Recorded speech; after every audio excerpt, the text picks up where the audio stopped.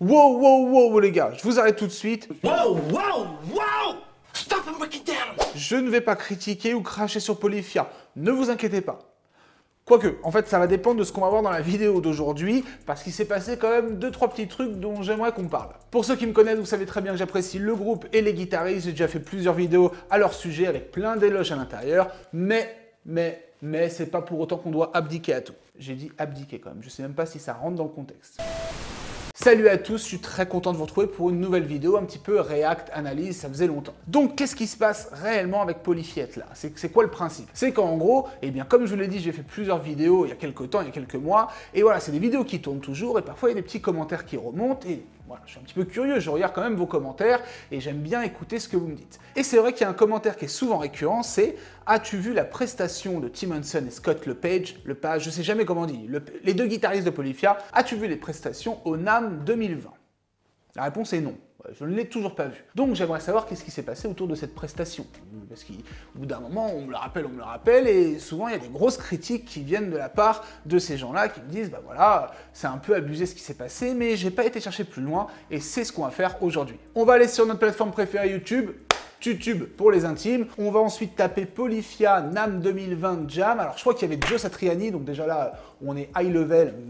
Joe Satriani, voilà, pour ceux qui connaissent, c'est un gros gros poisson de la guitare. Je suis pas très fan, mais il est énorme. Il y avait Nita Strauss qui est énorme aussi. Il y avait Paul Gilbert pour les Français, Paul Gilbert pour les Anglo-Saxons. Donc voilà, on est sur du gros poisson, comme je viens de le dire, de la guitare. Et les petits Polyphia sont venus s'incruster dans une improvisation autour de tout ça c'est chaud. Moi perso, j'y serais pas allé. Bref les gars, analyse, réaction, déception, euh, pas déception, euh, normalité, tout ce que tu veux. C'est parti.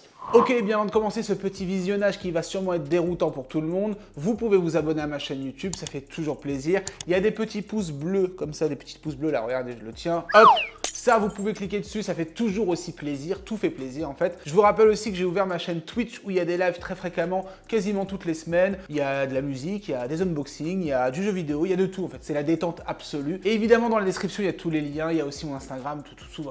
Vous connaissez un petit peu la musique, n'hésitez pas à venir me suivre partout. Le but, tout simplement, déjà, j'aimerais cliquer sur la vidéo car le Mac est vieux et ça ne marche pas. Ça bug, ça bug. Mais qu'est-ce qui me fait?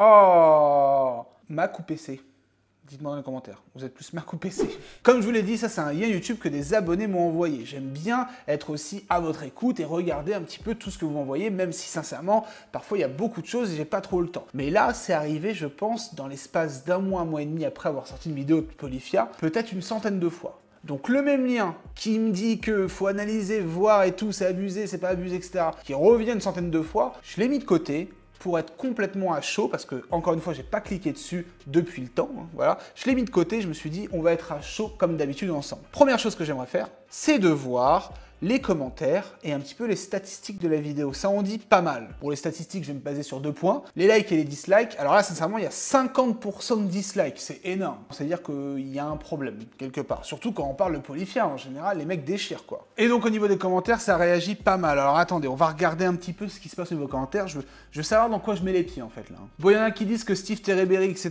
devrait réagir à cette vidéo. Je pense qu'ils l'ont pas fait parce qu'ils se connaissent et, et tout. Sinon, on l'a fait depuis longtemps, je pense. Bon, il y en a qui disent qu'ils déchirent pas du tout. Kids, ils les appellent les kids, genre euh, les enfants ah, sont pas trop ouf, etc. Il y en a qui disent que c'est des joueurs en mode d'Instagram, et voilà, quand il n'y a pas d'édition ou des caméras HD, euh, c'est une totale déception. Il y en a qui disent fail, il y en a même un qui dit que Tim, Tim Hanson, s'est a priori exprimé que le son n'était pas bon, donc il avait du mal à jouer, etc. Écoutez, euh, c'est particulier parce qu'en général, Tim Hanson, et bon, Scott Lepage et Polyphia, en règle générale, ils ont des très bons commentaires. Bon, on va mettre les barres sur les T, les points sur les I, et non pas les points sur les T, les barres sur les I. On est d'accord Ok. On va regarder cette vidéo en deux temps. La première chose, c'est qu'elle fait 1 minute 37. Donc on va regarder en full comme ça, comme si on était à côté avec des pop-corn. On regarde, je ne dis rien sauf des expressions faciales à la limite. Tranquille. Et ensuite, on se la remate, on coupe un petit peu, on analyse des parties, on voit, je réagis, donne mon avis, vous donnez le vôtre en commentaire. Bref, les gars, c'est parti, on regarde ça.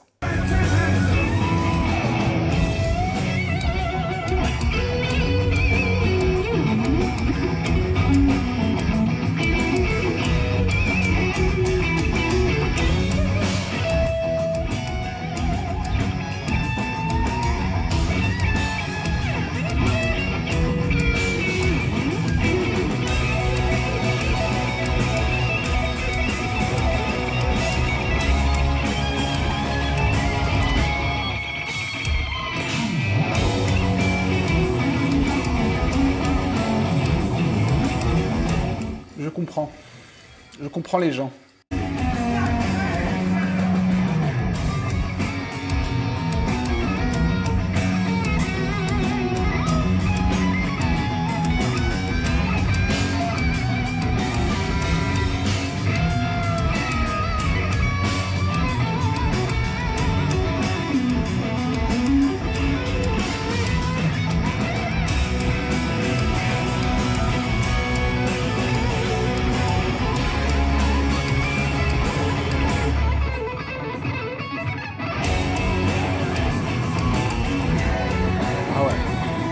Je comprends maintenant.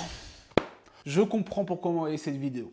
Alors, ça va être difficile pour moi parce que j'adore Polyphia, j'adore surtout Tim Hanson, le guitariste, Scott, le PSG, très très fort aussi. Ça va être difficile, je veux vraiment avoir complètement un avis extérieur et me mettre à la place des personnes qui m'ont envoyé ce lien là. C'est vrai que quand on voit Polyphia et tout jouer ou alors Tim Hanson, enfin les guitaristes jouent ensemble et qu'on les retrouve là, on peut se poser quelques questions. On va s'installer, je vais me détendre un peu, je vais prendre un thé euh, tranquillement japonais. Je vais essayer d'analyser tout ça avec tout le recul possible et sans être critique. Ça va être un petit peu difficile. On va, on va parler de tout ça. On va parler de tout ça. Ok les gars, je fais juste une petite pause dans la vidéo pour vous présenter un projet super cool, le tremplin classe Euroc, c'est parti alors ce tremplin a de l'expérience car il a été fondé il y a plus de 30 ans. En gros, le tremplin classe rock va permettre à des jeunes artistes, des jeunes groupes de pouvoir s'exprimer sur scène, de pouvoir aussi choper de l'expérience et surtout se mettre dans des conditions professionnelles. C'est évidemment ouvert à tous les styles, que ça soit du hip-hop, au métal, tout ce que vous voulez, du funk, de la soul, tout, tout, tout. Donc l'état d'esprit général de ce tremplin, c'est premièrement d'aider les groupes en donnant une expérience, une expérience de scène, de studio, de conseil. Justement, je vous en parlais avec des professionnels, donc ça c'est super cool. Et la deuxième chose, c'est surtout aussi peut-être dévoiler un potentiel chez certains et pourquoi pas continuer dans une voie professionnelle. Juste, je tiens à préciser une chose, les gars, les tremplins, je suis assez mitigé dessus à la base, en tout cas pour certains tremplins. Et du coup, avant d'accepter de parler de classe Europe, j'ai beaucoup discuté avec les organisateurs pour avoir et savoir quelques conditions. Notamment la première, c'est que ce tremplin, il est totalement gratuit de A à Z pour les jeunes artistes. Ça, ça me semble juste obligé pour les tremplins. En gros, il n'y a pas d'histoire de payer pour s'inscrire et il n'y a pas d'histoire de vendre des places à un certain nombre pour pouvoir euh, jouer sur scène. Donc ça, c'est gratuit. Et la deuxième chose, c'est au niveau des sélections. Il y a certains tremplins où c'est à l'applaudimètre, où il faut crier ou ramener beaucoup de potes, etc. Là, non, c'est vraiment une sélection par des professionnels de A à Z. Donc chaque année, il y a 8 lauréats qui sont sélectionnés. Alors ça commence par des sélections d'écoute, voilà, où les pros écoutent un petit peu ce que vous faites. Ensuite, c'est des sélections plutôt live, donc on peut être visionné en live, on peut être vu en live, en studio, etc. Et ensuite, bien, après la sélection, il y a le fameux stage Euroc, et là, on parle des choses sérieuses. Alors ce stage, c'est quand même une belle chance, une belle opportunité de pouvoir progresser, et encore une fois, c'est très formateur pour les artistes. En gros, pendant une semaine, vous allez être suivi par des professionnels du son, de la scène, etc. Vous allez être coaché, vous allez pouvoir justement recueillir plein d'informations pour vous améliorer, et à la fin de tout ça, évidemment, concrétisation, amélioration maximale, potentiel débloqué au max, car boum, il faudra libérer votre musique sur scène et c'est le moment de faire péter les watts, mais surtout de vous faire repérer parce qu'il y a toujours une petite équipe de professionnels dans le lot. Donc c'est toujours le plus important, quoi. Et aussi le public. Concernant les anciennes éditions, les groupes ont eu beaucoup de chance car ils ont pu faire une grande finale justement devant des milliers de personnes, mais aussi des concerts en France, au Maghreb. Bref, pour cette année, si vous remplissez les conditions légales, n'hésitez pas à vous inscrire, il reste quelques places et il reste surtout quelques jours. En tout cas, c'est un très beau projet pour le monde de la musique, moi je les soutiens à 100%, donc si toi ou ton groupe vous posez des questions, vous hésitez, c'est le moment de ne plus réfléchir, qui ne tente rien à rien, et moi j'ai juste à vous dire bonne chance. Bref, nous on repasse à notre vidéo, c'est parti. Ok, bon, premièrement, je vais faire très attention à ce que je dis. Très attention. Je commence par dire que ce sont tous les deux des monstres de la guitare, point barre. Comme ça, tout est dit. C'est même pas un disclaimer, c'est ce que je pense. Vous le savez très bien, je l'ai déjà dit dans mes dernières vidéos. Polyphia, c'est juste énorme, j'en apprends. Tout cet été, j'ai travaillé justement du Polyphia pour m'améliorer dans certaines choses. Donc, je suis en kiff complet tout le temps sur le jeu des guitaristes. Mais, être bon quelque part ne veut pas dire être bon ailleurs, si vous voyez ce que je veux dire. Ce qui se passe, c'est que la première chose, alors il y a eu plusieurs erreurs hein, qu'ils ont fait. On va même pas parler du jeu premièrement, on va parler du fait d'accepter. Perso, j'y serais pas allé. Comme je l'ai dit tout à l'heure, moi j'y vais pas. J'ai leur level, je m'en fous, j'y vais pas. On est quand même là avec des gars comme juste Satriani, juste Paul Gilbert, etc. Donc c'est vraiment chaud de s'imposer dans ce délire-là et on sait qu'on va avoir un petit peu des attaques, surtout euh, dans les guitaristes modernes. Mais quand tu sors de ta zone de confort, et on va en parler, parce que ça va être une belle morale à la fin de tout ça, je pense. Ta zone de confort, je pense que voilà, quand t'es pro et tout, vaut mieux rester dedans, surtout quand t'es en démonstration filmée, que de foncer. Je pense qu'ils sont pas du tout dans leur zone de confort, notamment Tim Henson. Scott, il a l'air un petit peu plus débrouillard, quoique il m'a fait un truc à la fin, j'ai pas saisi. Tim, il est pas du tout dans sa zone de confort. Le côté funk, rock, impro et tout, un peu bluesy, tout ça. J'ai l'impression que le gars calcule pas, et on le voit dans son jeu, on va analyser, il reste keblo, quoi. Il est keblo dans ce qu'on appelle un peu le carré magique de la pentatonique. On dirait que c'est genre un élève de quelques années de guitare. Je sais même pas comment je ose dire ça. Mais là, je, constate là. Donc il y a un truc que je constate tout de suite dans l'attitude de Tim Henson. Regardez juste une vidéo quand lui il joue ses propres morceaux.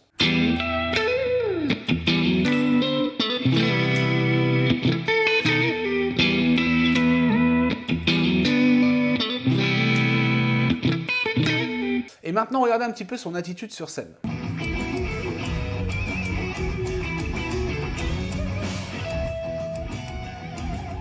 Il est complètement bloqué, super rigide, on voit, il calcule à fond son manche, alors que d'habitude il fait truc de fou, il calcule à peine, il est hyper euh, justement euh, déroutant là-dessus. Là, il est vraiment à donf, on dirait qu'il est keblo, on dirait qu'il est euh, rigide à mort, il hésite même à mettre des petits coups de tapping, je sais pas si vous le voyez, je crois que c'est fait comme ça, après il rattrape en coup, comme s'il y avait un effet de style. Mais regardez sa petite main du médiator. Voilà, il a voulu y aller tranquillement, il va pas, mais il va vers son vibrato qui est hyper mal géré derrière. Donc voilà, déjà au niveau du comportement et du mental sur scène, il est complètement bloqué, c'est mort. Tu commences comme ça, c'est mort, c'est dead. Il calcule trop ce qu'il fait, alors d'habitude il calcule pas. Alors ça peut être dû à beaucoup de choses, euh, forcément. Euh, vous êtes devant des maîtres de la guitare, des gars que tu as, euh, je sais pas, idolâtré depuis très longtemps, ou des mecs qui t'impressionnent, il y a un public assez, voilà, élitiste hein, dans ce genre de choses. C'est vrai que ça peut foutre un peu la pression, première chose. Deuxième chose, c'est pas forcément son délire de jeu, les impros, il dans des choses très écrites et très calculées, très travaillées. Chose, il a dû a priori expliquer en live, voilà, il y avait des problèmes de son, il n'était pas totalement à l'aise sur scène. Donc tout ça résulte sur cette chose-là. Le petit lapin qui vient, mais il ne le fait pas, donc il n'ose pas s'imposer dans son truc. C'est un peu compliqué, quoi. J'ai l'impression que c'est vraiment très complexe pour lui cet exercice-là. Ça peut se comprendre totalement. Maintenant, ce qui me dérange le plus, c'est que je l'ai dit, il reste bloqué dans sa petite pentatonique. Regardez bien, tout le long, il est dans les mêmes cases.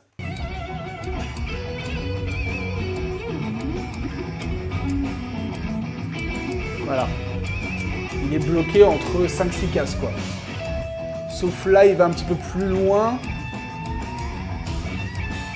Il reste, mais il revient dessus. Bon, là, il y a voilà, un petit truc de fast, hein, des plans, c'est sympa, c'est très cool. Il est toujours justement dans, son petit carré euh, magique. C'est sympa, hein, voilà, ça impressionne la ménagère. Oui. Alors là, par contre, j'ai pas compris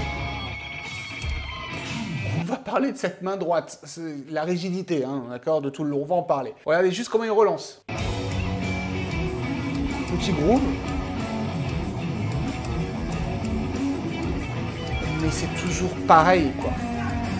Voilà, ça reste toujours au même endroit. Le petit groove de fin, il est bien. Je l'aurais plutôt fait en début de phrase, après foncer, en haut de manche, utiliser ces techniques qu'il sait faire. Putain, il est où son Floyd et tout, qu'il attaque à mort, son petit tapping, ses petits sweeps et tout. Mais bon, comme c'est de l'impro sur le moment même, c'est pas un mec de l'impro, quoi. Ça se sent, c'est pas un mec de ce style-là. Par contre, je vous ai parlé de rigidité. Regardez cette main droite.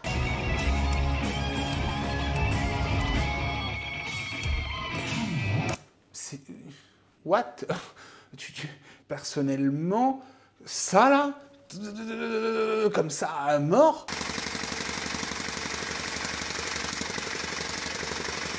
Moi, je dis à mes élèves justement qu'ils apprennent un peu les solos et tout. Soyez souple, quoi, c'est comme ça. Je vous montre. Bon, je prends une acoustique parce que j'ai la flemme de sortir électrique. Alors, à la limite, c'est plus dur sur acoustique. Juste un truc, on va prendre Pulp Fiction.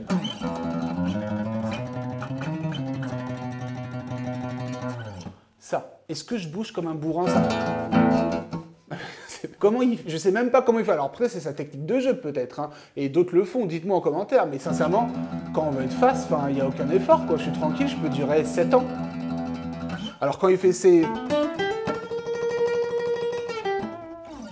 rigidité, les gars. Le mec est tendu, la personne est tendue, mais euh, t'inquiète, c'est passé, c'est passé. Bref, voilà, concernant Timonson, j'ai rien d'autre à dire, je pense que je me suis exprimé. Tout résulte euh, du mental, alors c'est du mental allié à la zone de confort et tension sur scène. C'est pour ça que si c'est foiré. On peut dire que c'est un peu foiré, mais, mais ça se comprend énormément. Enfin, moi, je vous le dis, je serais même pas allé vers le quart. J'aurais fait une note, j'aurais fait ça. Salut, c'est Trénie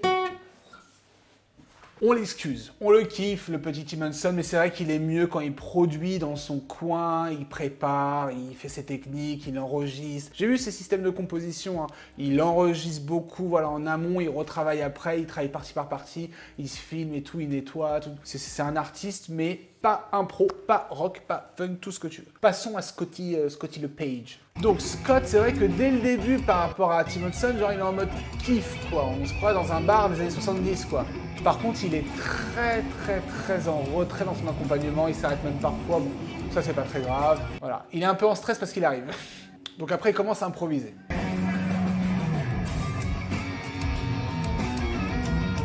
Ça va, il commence tranquille.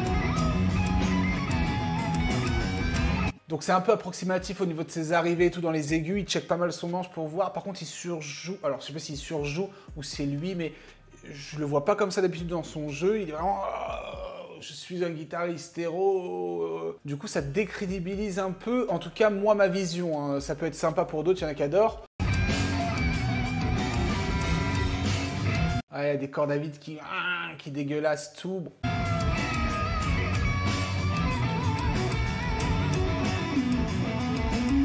Est un petit peu quand même dans l'esprit aussi de Timonson, hein, c'est-à-dire qu'il bouge pas trop d'où il est. Ils sont très genre verticaux au lieu d'être dans l'horizontal du manche. Alors après c'est un style de jeu et c'est très bien. Par contre c'est bien d'allier les deux quoi, ok même sur une corde, repartir en haut, en bas. Et il a une approche un petit peu plus jazzy que l'autre, c'est-à-dire qu'il va jouer un peu des fois out. Alors on rentre dans les termes out, c'est un petit peu aller chercher les problèmes harmoniquement quoi, c'est ça. Il a une approche un petit peu plus recherchée que Timonson. D'ailleurs là on voit que Timonson est dégoûté d'être là. Mais voilà, il a un jeu harmonique un petit peu plus hybride que l'autre. Je suis pas très fan de ce qu'il a fait, ça casse pas trois pattes à un canard, quoi. On va dire qu'il est un petit peu plus sûr que son pote, quoi. Voilà, mais il en joue pas mal, hein. une belle chevelure euh, dorée là.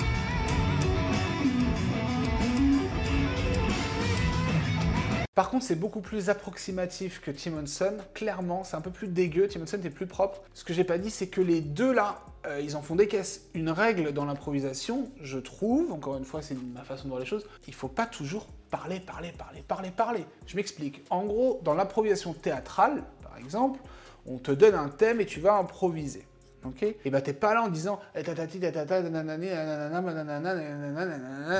y a de l'intention douce, forte, et de la ponctuation, des arrêts, des cris, de l'énervement, etc. Ça monte, ça descend. Et là, en fait, lui, il balance depuis le début, depuis le début, depuis le début, depuis le début. Il n'y a pas de chose qui te donne un petit peu plus de relief et un peu d'âme à tout ça. Bon, c'est particulièrement encore une fois, c'est comme l'autre. Hein, euh, je ferai pas la moitié d'aller sur scène avec les gars qui sont là. Donc, parlons du moment fatidique.